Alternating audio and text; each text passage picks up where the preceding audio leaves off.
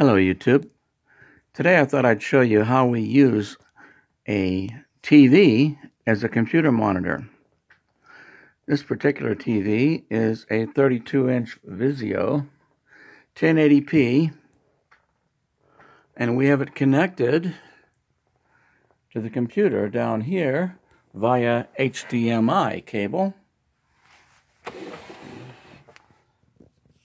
And you just set the input to the HDMI and you use that as your monitor. You set the resolution at 1080p and that's it. We also have this connected to our sound system with these RCA cables.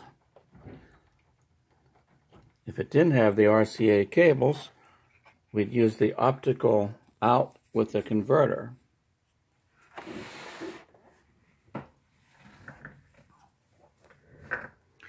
Anyhow, that's how we do it.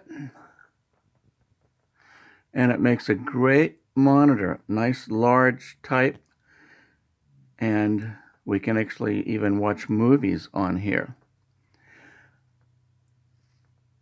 All right. Please like, share, and subscribe. Thanks for watching.